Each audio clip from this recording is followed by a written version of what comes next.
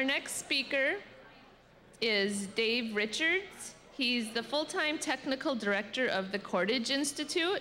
He has 39 ex- years' experience in the manufacturing, testing, and fabrication of rope assemblies, with another 13 years of using and handling ropes. He's the author of the Splice book.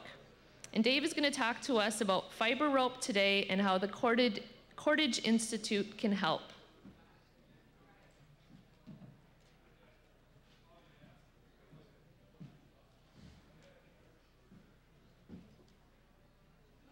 Okay, thank you, Susan. And I would like to extend my congratulations to the organization that set this up.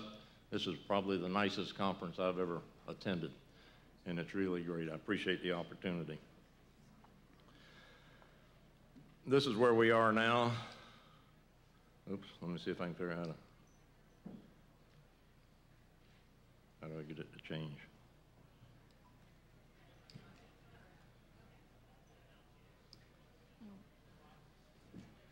A slight malfunction.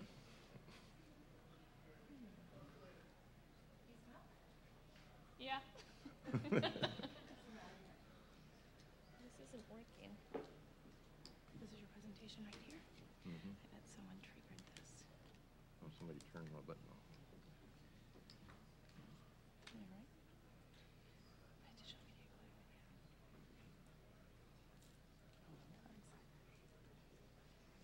Oh, it froze up.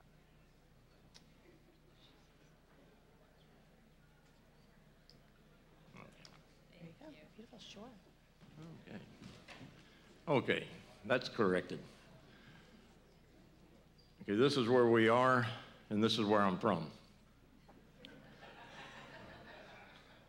The Cordage Institute um, is a nonprofit organization, and uh, it's an organization of rope manufacturers, fiber manufacturers, um, engineers, consultants, equipment manufacturers that make the equipment to make the rope, and as well as um, government representatives. And our, we had two committees, the executive committee, which is a board of directors, presidents of the various rope manufacturers and representatives from the fiber suppliers, and a technical committee, and that's where all the work gets done.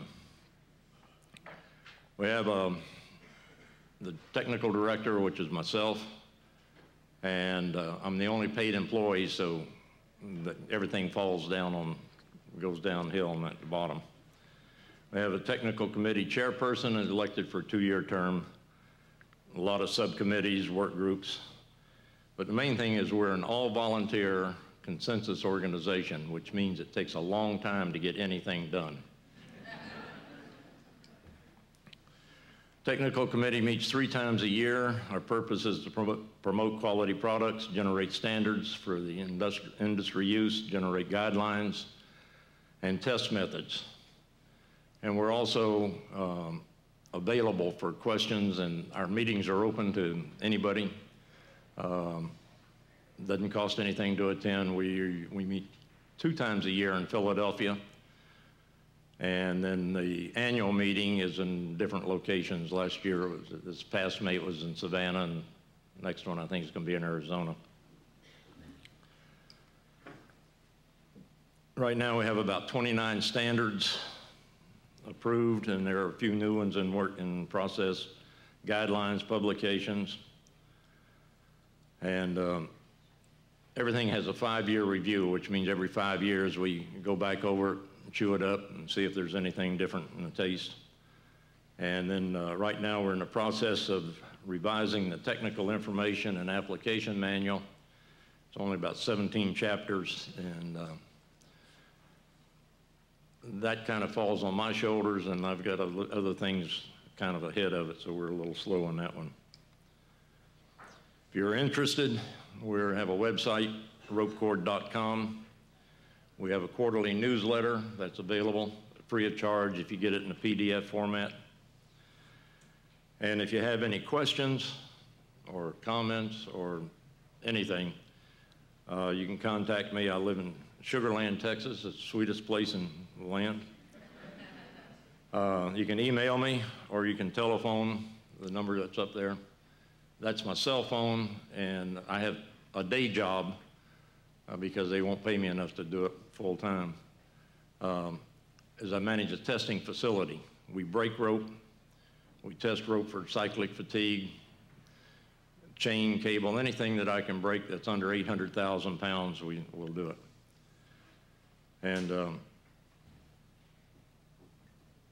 so if I, if I answer the phone and cut you off abruptly, it's because we're in the middle of a break or something. Uh, the Institute was founded in 1920, and the reason I'm giving you all this background is because we want to be available as a source for you if you have questions. And as we get further into this, you'll see the complexity of ropes and what we're facing. And we kind of need your guidance in helping us to focus and get the information out that uh, will be of assistance to you. Um, I have a son that's in the police department. He's got about 27 years at the Houston Police Department.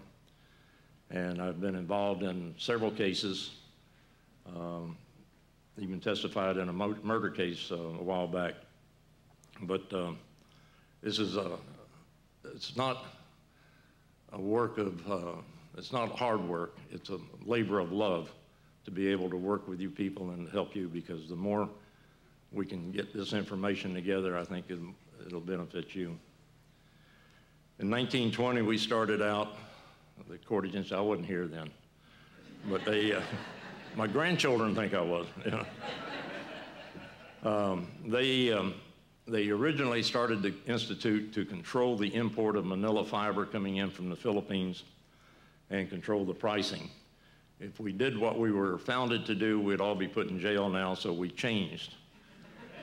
In the 1970s, or from, oh, I guess it's in the late 30s, early 40s until 1970, it was more of a lobbying group to help Congress understand the, the plight of the rope industry and how we needed help and protection.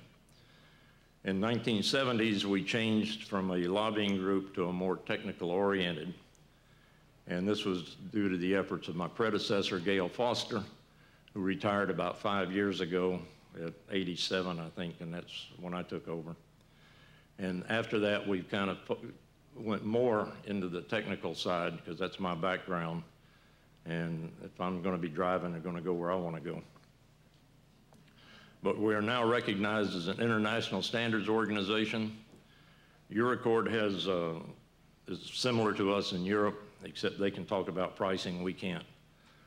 And uh, years ago, well, I say years ago, it wasn't too long ago, all the countries had their own standards organization. There was a German standards, a British standards, a Japanese standards, and now all of that is coming under the ISO, which is the International Standards Organization.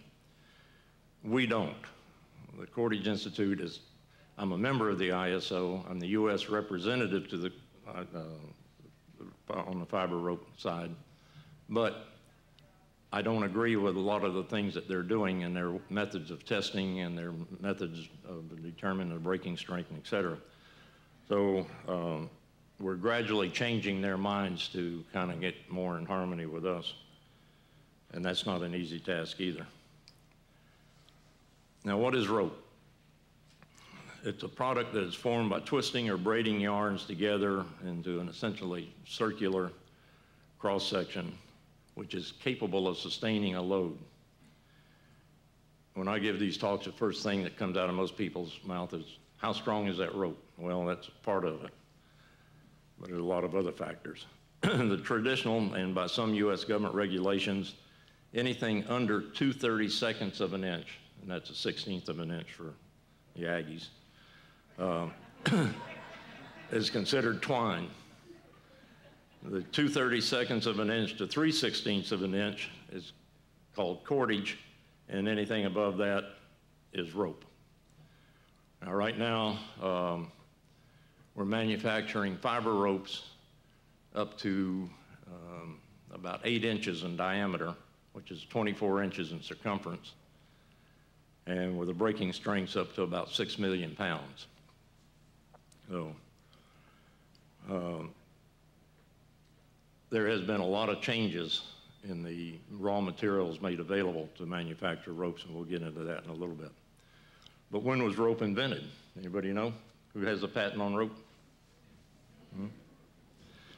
Rope was invented when somebody needed it. right?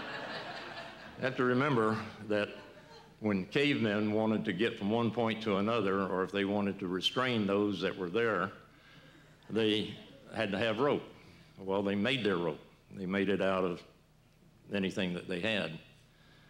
And um, so they were actually the first rope manufacturers. And originally, a person made the rope that he needed. Later on, he got to a point where this guy was better at making rope than he was at swinging an axe, so they let him make the rope and the other guy swing the axe, so he, then he became the rope manufacturer. The oldest pictures of rope that I have are pictures of the oldest rope that I have. It was discovered in 2005 in a cave, um, oh, and uh, off the Red Sea, I believe.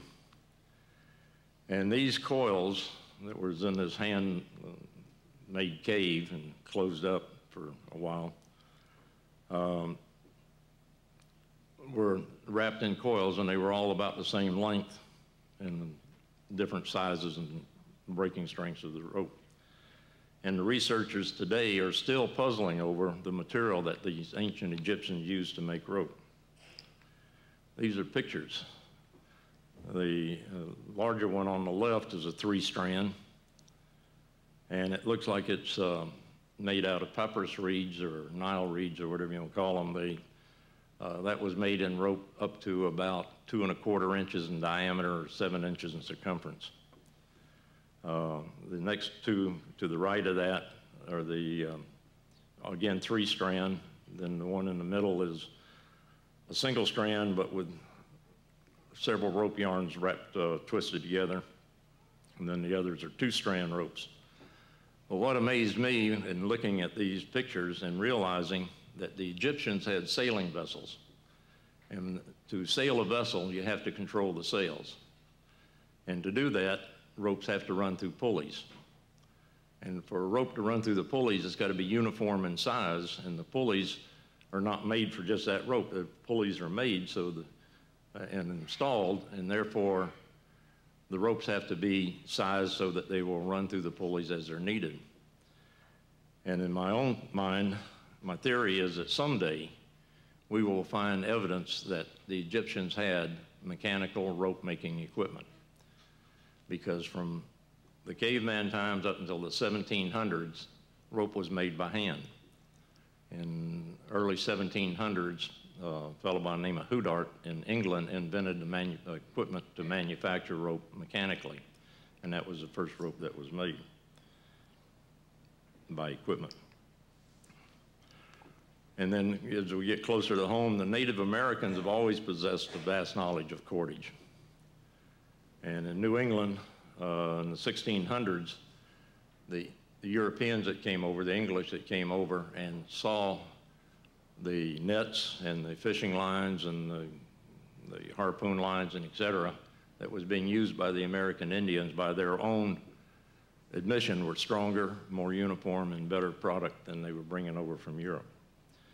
There's a, a website if you're interested in going to that. And there's two things we discuss at home, rope and children, and it's hard to say which one is the most. So anything about rope, I, I like to dig into it and find out. Now terminology, and this is getting into the point where if you get a, a cord that comes in and you start dissecting it and looking at it, and you're looking for a manufacturer or if you want to talk to a manufacturer, if you can speak in his language, it makes it easier to communicate. So in the, uh, the Cordage Institute has a terminology for fiber rope. It's our Cordage Institute CI 1202, and it was updated in February of 03. Terminology and definitions are important to assure clear communication and understanding. And if you're asking a manufacturer and you're trying to describe to him what you see to see if he makes that type of product or if he might have an idea where it comes from, if you can speak his language, he can understand. So these are available.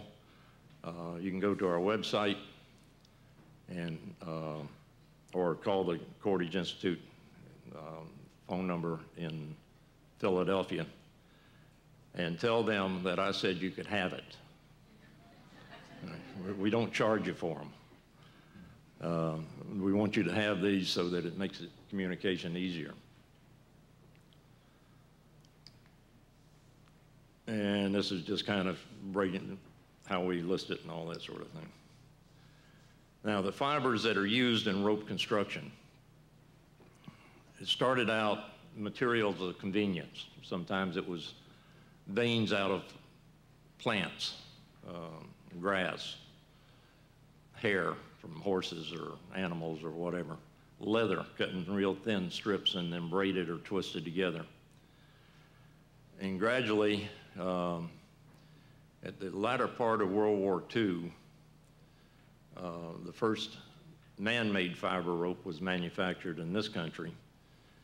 And this was at the request of an Army colonel. They were getting ready for their assault on um, some cliffs over in Europe. And the weight of the rope that the Army Rangers would have to carry was beyond, I mean, they could carry it up there, but they'd have to leave things like guns and ammunition and stuff behind. So, but this colonel had remembered, and they'd used the nylon for parachutes, they'd used it for camouflage nets. And so he contacted uh, a company called New Bedford Ropes in Massachusetts, and they made the very first man-made fiber rope. It was a three-strand nylon. Nylon is actually a DuPont trade name. Polyamide is the generic name. Um, DuPont failed in their marketing to trademark that name, so everybody used it, except in Europe, they still use polyamide. And then uh, late, that was actually developed in 1939, and later on in 1939, polyester became, which is, it looks like nylon, feels like nylon. It has less stretch and does not absorb water into it. And um, so those were the two first um, man-made fibers in synthetic rope.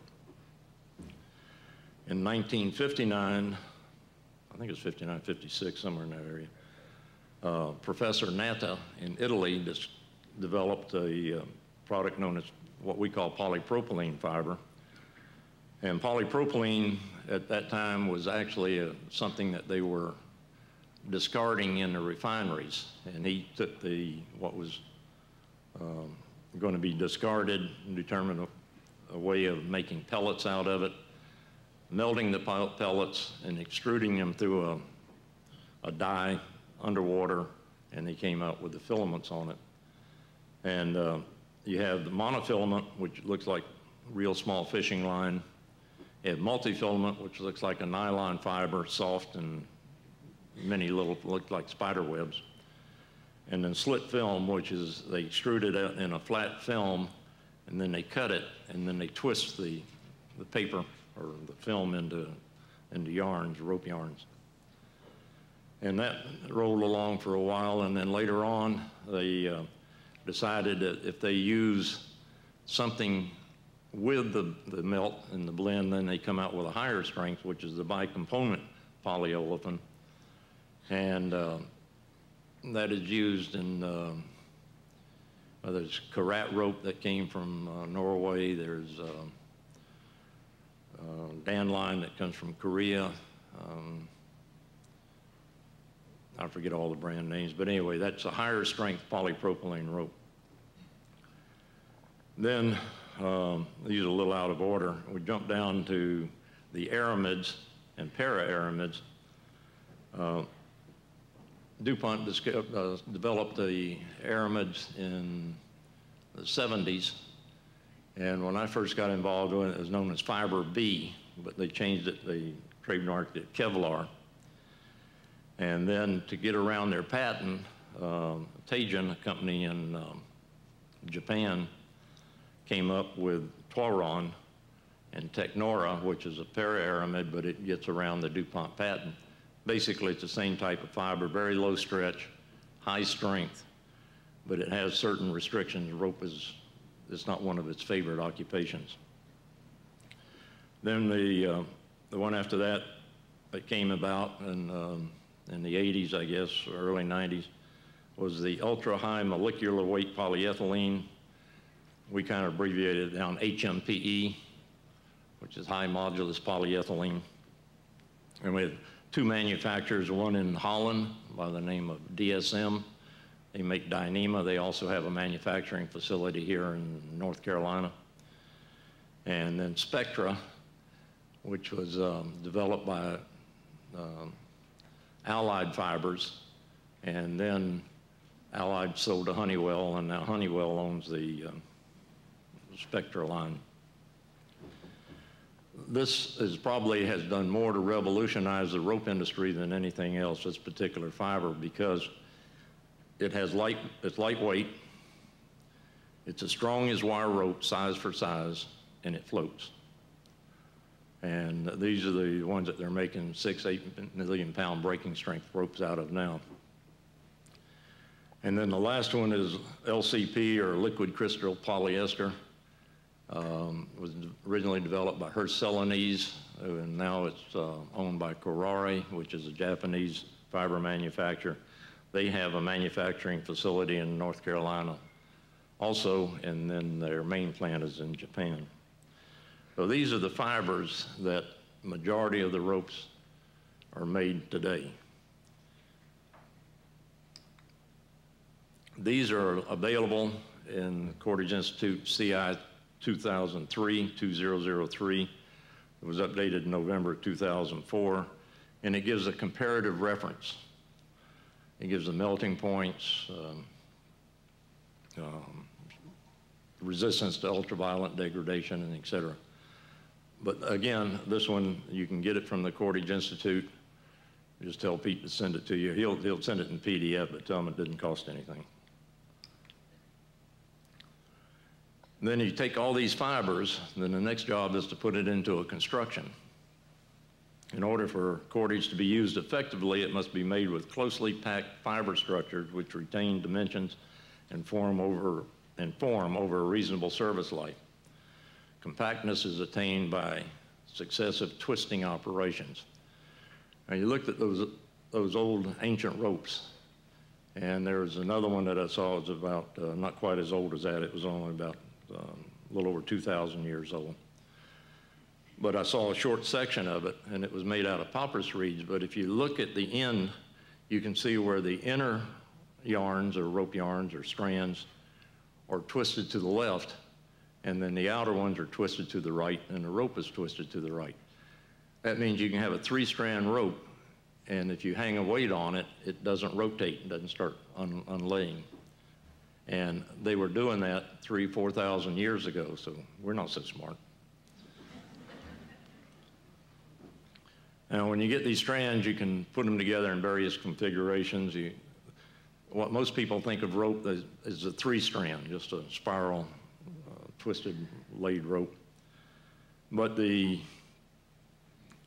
there's an eight strand rope that is four pairs four of them are twisted to the left and four of them are twisted to the right, and then they're plated together, which means that there isn't a hollow center. And or you can take them and braid them together in 8, 16, 24, 32, 48 strands. And, but when you do that, when you braid a rope, you have a center is hollow. So you have to fill it up with something. Uh, we can get more into the, that construction later on. But um, we single braids, we have double braids, uh, solid braids, sash cords. I don't know. Um, some of you might remember the old double hung sash windows that uh, when you raise it up, it stopped wherever you let it go. That's because there was a counterweight hanging on a rope inside the, the window frame. And those were sash cords. And that weight, uh, most of in those days they made it out of cotton and cotton would last a while and it would rot and you'd hear that weight go clunk and then you had to take the bend apart and put a new weight. Now with polyester it'll last forever, but then they don't use them anymore. So uh, they have better ways of doing things. So, the basic rope constructions, this is kind of give you an idea. There are numerous ways you can put rope to, fibers together to make a rope. These are the more the uh, conventional three strand, eight strand, and double braid. If any of you are sailors, spent a lot of time uh, on a sailboat, you know, real sailors, uh, rope is your engine. That's what controls your, your sails. That's, that's what makes the boat go. The sails just catch the wind, but the rope is what is your engine in that. And most of them have gone now to, uh, if you're just a Sunday sailor, you're using a polyester. And if you're into racing, where weight is a factor, then you use these high weight, high strength, low weight ropes. And um, to get another ounce or two of weight removed. Even on the standing rigging now, they're using this fiber called PBO, and I can't pronounce all the letters on that, but anyway. They, um, you can't tie this and you can't braid it, but they run the fibers parallel, extrude a jacket over it, and then socket a fitting on each end like you would wire rope. And that holds the mast in place but it weighs about one-fifth of what the stainless steel rods and stainless steel wire used to weigh. So that's one of the areas where it's going. Now, these are a little busy, but the three and four strand ropes, um, size ranges that you may probably or probably would encounter is anything from 3 16ths to 3 quarter inch diameter. Um, and these things are readily available in Walmart, Home Depot, Lowe's. They're a general rope um, used in a lot of industries, but it, they're on a shelf in Walmart. And those are um, what I call generic or commodity ropes. Just buy them, use them, and wear them out, replace them. But life and limb usually isn't at risk. You don't use this for mountain climbing and um, lifting heavy weights or anything of that nature. Probably the majority of the ropes that you will encounter will be these and then the diamond braid and solid braids. And what we're finding is that in this day and time, so much of the commodity ropes are being imported. They're coming from China, Taiwan, Korea, India, Pakistan, Central and South America. And they're, they're coming into this country and they're packaged very nicely and they look good, but they're not, in some cases, they are not the quality that you would expect if you uh, are looking for a rope that you're going to use in an area and want to keep it, keep it for a while. One of the things when you do your analysis of a, a fiber rope, you can't just pick one strand and identify the fibers in that strand or rope yarn and assume that the rest of them are going to be the same.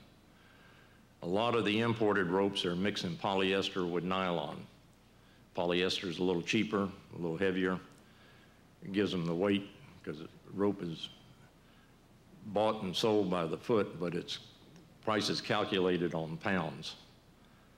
And so you just have to kind of double check and make sure that if there's a variety of fibers in there, you can rest assured 99% of the time it's going to be an imported rope.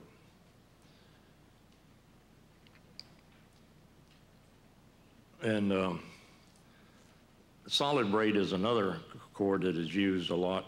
It's, some of it's imported, but there are some of them in the U.S that are taking these solid braids and putting these high strength fibers in the core, in the middle of it, to give it a higher strength um, for a variety of reasons, a lot less stretch. And if you come across something of that nature, you can probably pretty much be assured that it's being made by one of three companies in the United States. And probably it's being made for specific applications. Um, these, these pool covers. I don't know if you swimming pool covers that they are, have a mechanical device to take the cover off of it. Uh, it has to pull back evenly, and so therefore stretch is a big factor. And they use a lot of these with a, a real low stretch core, LCP or aramid core in them. Kern mantle. Kern mantle rope is a very specific rope. Kern mantle is uh, actually it's two words, kern meaning core and mantle meaning jacket. It was used, uh, developed in Europe, used in mountain climbing. We use it a lot in life uh, rescue rope, uh, rope access uh, work when they swing people on ropes and put them under areas that you can't get to otherwise. Most of them have bright colors, uh, a variety of colors, might be three or four colors in a jacket, except if they're used by the either SWAT teams or the Army uh, or military, then they're either tan or black or sand color or olive drab. There are three types, static, dynamic, and accessory cords. Static is what is a life rescue or uh, rescue type ropes, low stretch, made out of polyester. Dynamic is made out of nylon so that if you fall and the rope is holding you, you got a little bit of stretch and shock absorbing capabilities. But all these things are available, and the, we have um, CI 1801, 1803, and 2005, which lists the constructions and the testing procedures and everything else.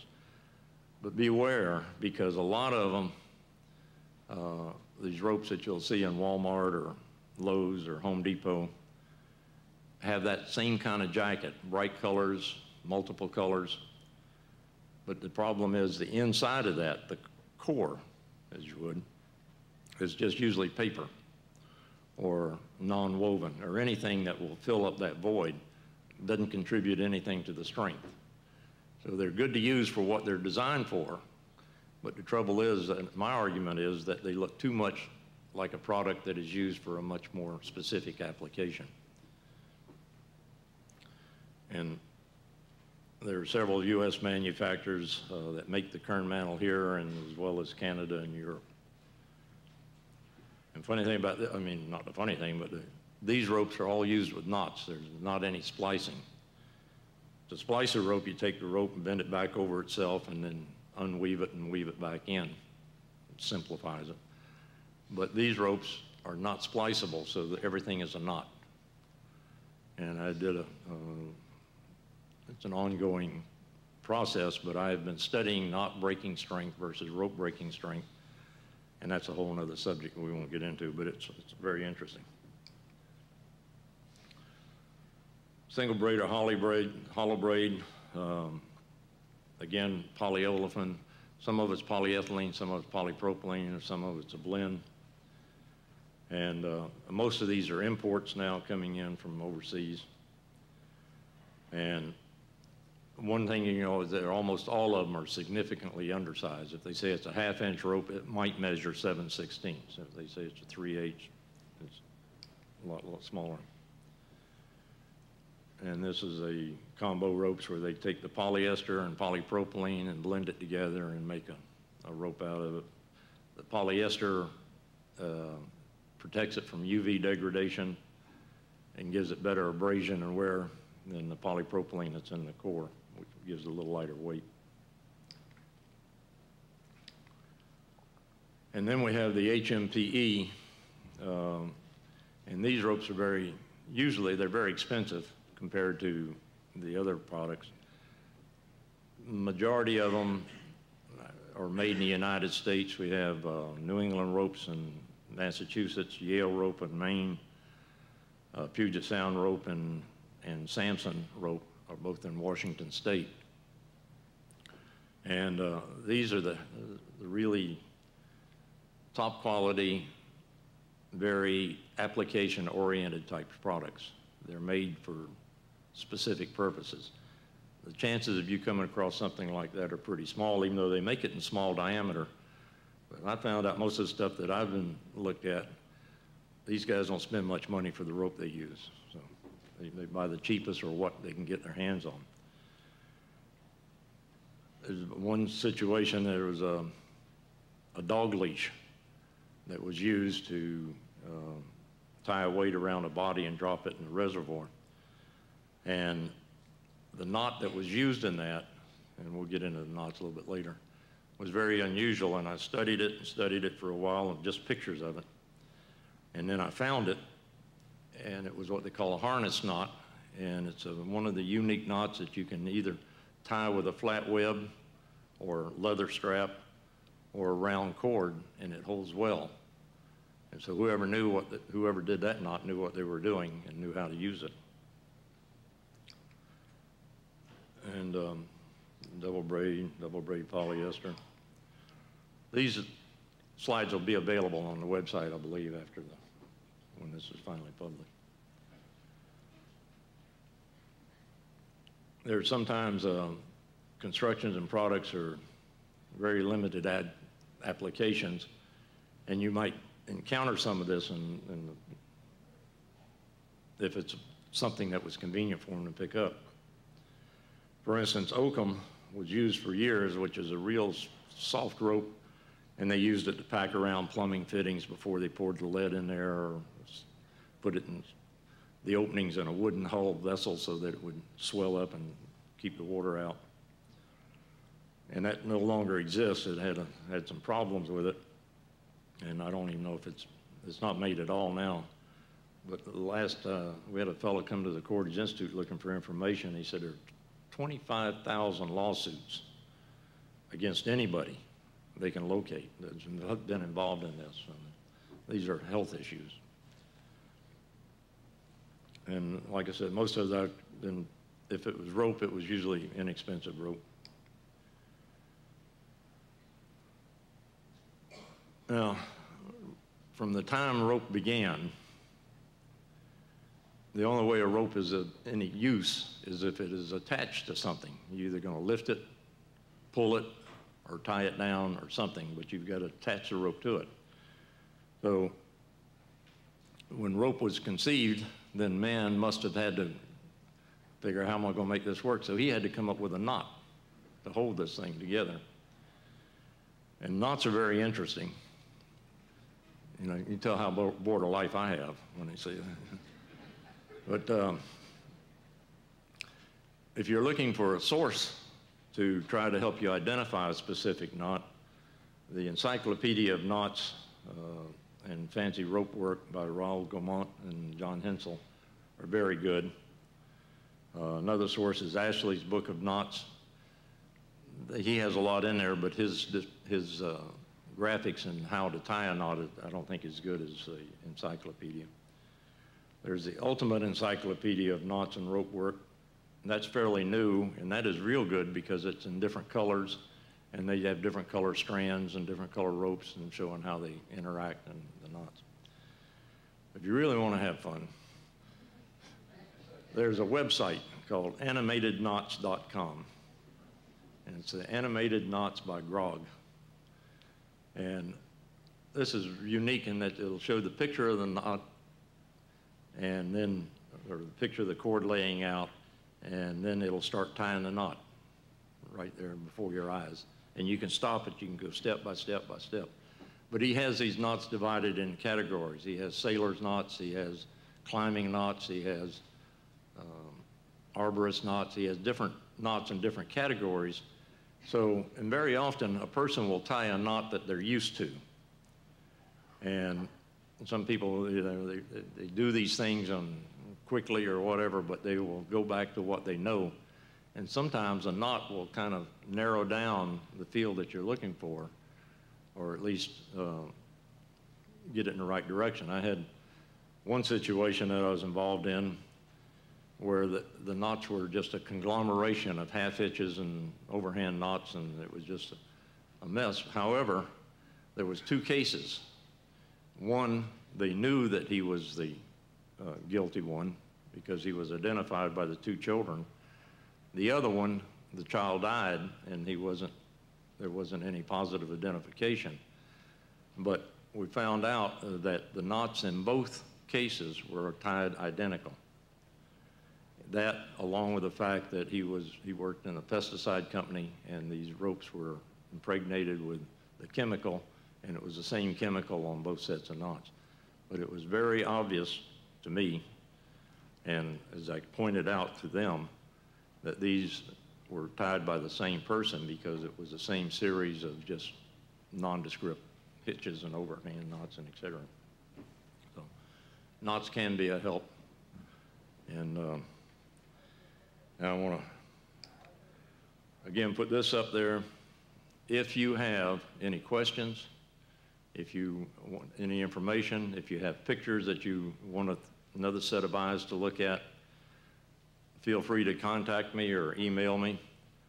Um, It's something that I do out of the love for what I do, not because I get paid for it, but because I enjoy doing it and I enjoy helping you people who keep us safe on the streets. Thank you very much.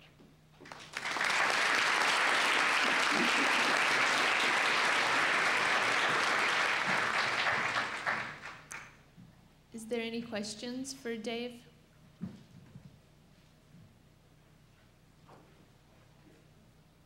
No, I think there's one, sorry. Scott Stoeffler, McCrone Associates. You mentioned a few specific uh, possibilities in your talk, but in general, if we can provide a fairly specific characterization of a rope, uh, the strands, the construction, the type of fibers used, the size, uh, does the Cordage Institute have information that would let us uh, trace a manufacturer generally? If it's a U.S. manufacturer, we can do that pretty well. But unfortunately, so much of the imports now, and we have no control, uh, and they're not very quick to bring us, give us information. So um, what we're trying to do is build some kind of, what I'm trying to do is build some kind of database, but I need help as to what we're looking for, because I can get ropes from various manufacturers overseas, and, but I would need help in having somebody break them down and so we can identify it with that particular type. I can tell you what size and I can tell you what kind of fiber and the twist level, but that's about as far as I can go. Uh, To answer your question, no, there isn't any one source, but we'd like to build one. Okay, thanks. Any others? Okay, thank you.